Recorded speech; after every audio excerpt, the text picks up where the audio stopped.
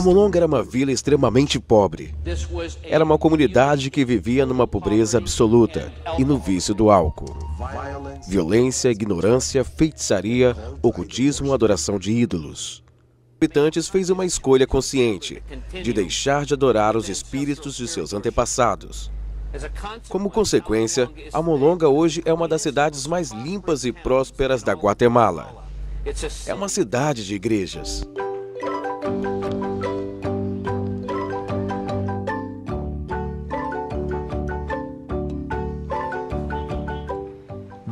Muitos citam a Molonga como um exemplo mundial de transformação. Ela realmente pode ser. Oito em cada dez residentes se consideram cristãos nascidos de novo. Mas nem sempre foi assim. Há 20 anos, a Molonga era um lugar perigoso e sombrio. Ela sofria com pobreza, violência e ignorância, além do álcool, que era o principal problema. Se você viesse ao Molonga há 20 anos e caminhasse de manhã pelas ruas, veria às sete da manhã vários e vários homens jogados na rua por estarem completamente bêbados. Nós tínhamos muitas delegacias porque existiam muitos problemas. O chefe de polícia, Donato Santiago, se recorda que as pessoas estavam sempre brigando. Foram construídas quatro delegacias, mas mesmo assim não conseguiram resolver o problema.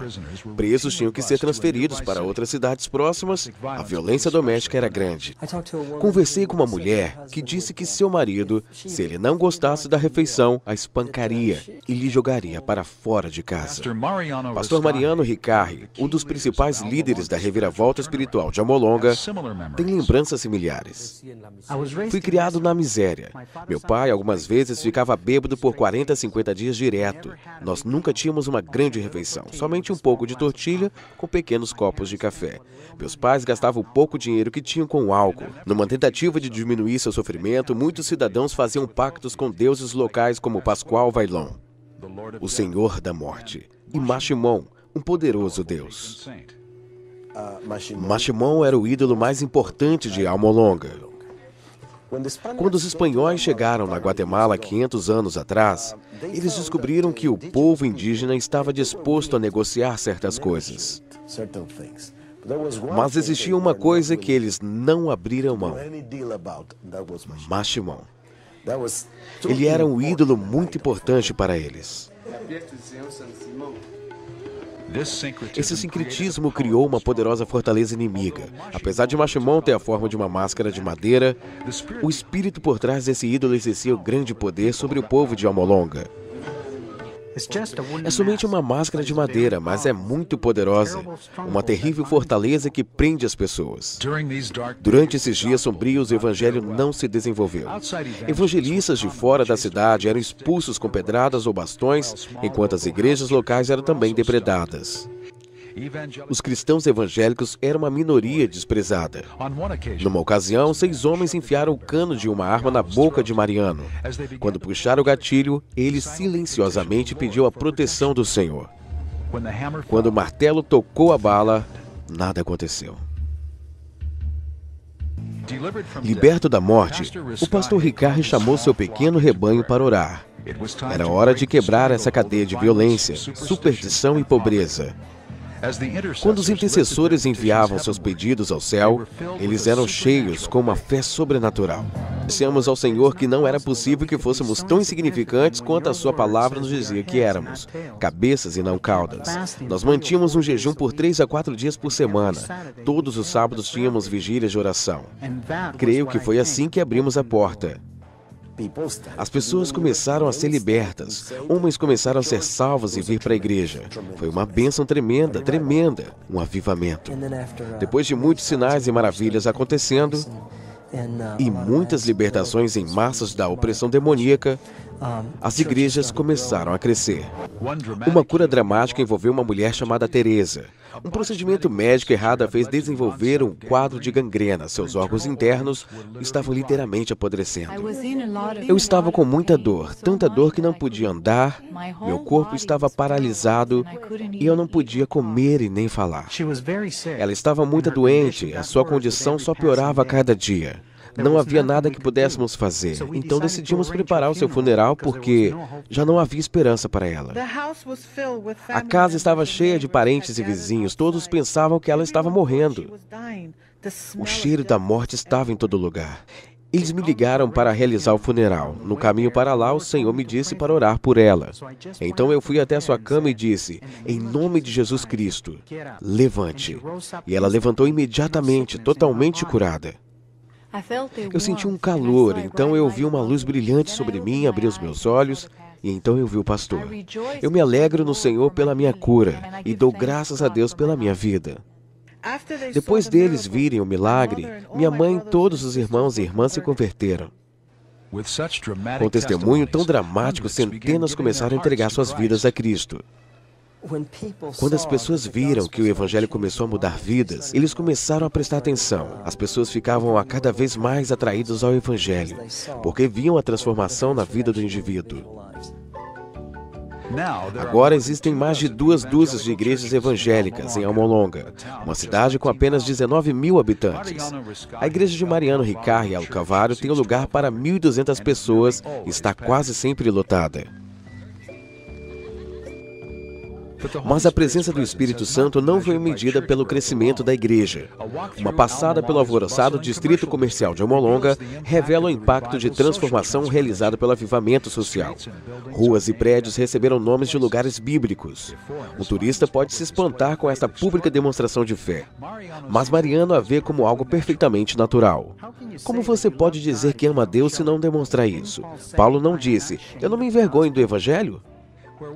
No lugar onde se concentravam os bares e cantinas de Amolonga, 36 no total, agora só existem três.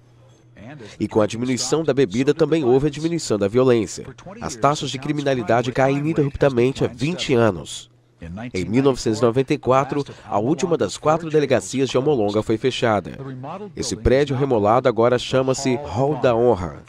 Para o chefe de polícia Santiago, não podia ser melhor. Vocês não têm mais nenhuma delegacia na cidade? Não, nenhuma. Por que vocês não precisam mais delas? Não, porque não existem mais pessoas em problemas.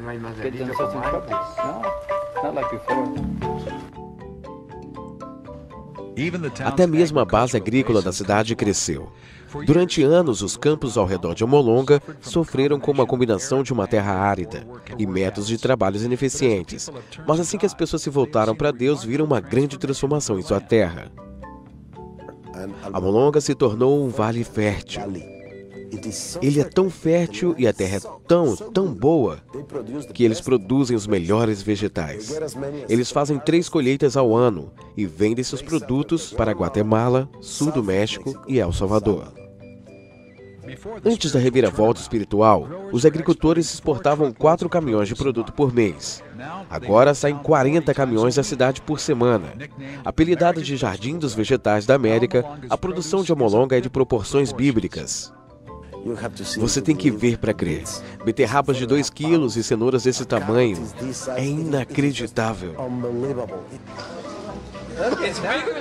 É maior que o meu braço.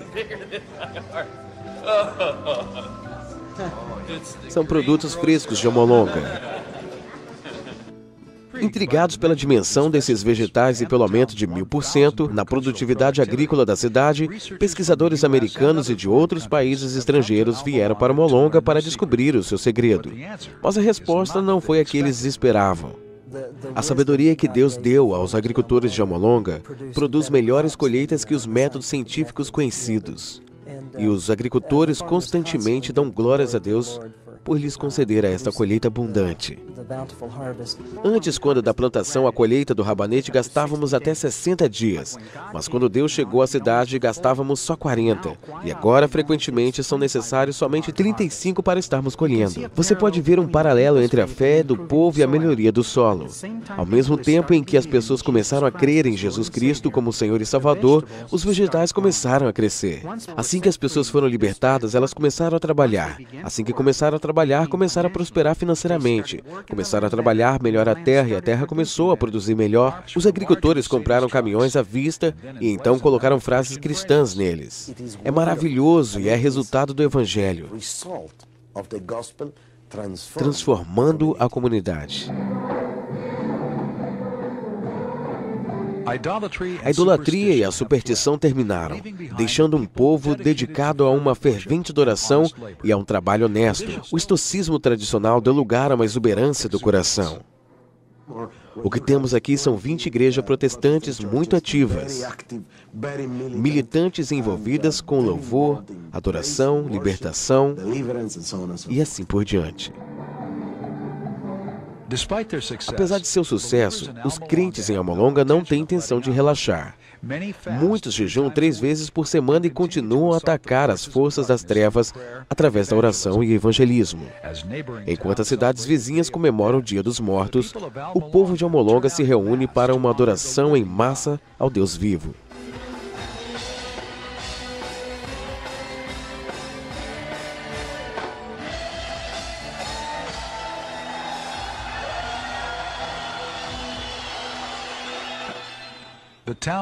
O prefeito recepcionou uma multidão de quase 15 mil pessoas na Praça do Mercado. Eles se reuniram para orar pela expansão do Evangelho em seu vale e ao redor do mundo.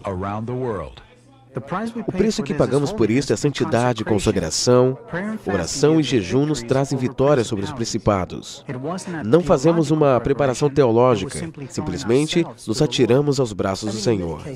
Eu consigo pensar em muitos casos em que, quando falamos sobre transformação de uma comunidade, temos que travar uma batalha contra a incredulidade. O nosso Deus e o Evangelho são poderosos o suficiente para verdadeiramente impactar nossa comunidade. A Molonga nos ensina que sim. Nós tínhamos uma comunidade entregue à idolatria, feitiçaria, alcoolismo, famílias destruídas. E agora temos uma comunidade transformada. E esta é uma boa ilustração para dizermos que sim, Deus pode fazer isso ali, Ele pode fazer isso em minha comunidade. Deus nos levantou e precisamos tomar vantagem dessa oportunidade. Somos a geração que Deus vai usar para a transformação, não somente de nossa comunidade, mas do mundo inteiro. É um espetáculo maravilhoso. Ir e ver o efeito do Evangelho porque você pode realmente vê-lo, e é isso que queremos para nossas comunidades, para as nossas cidades e nações.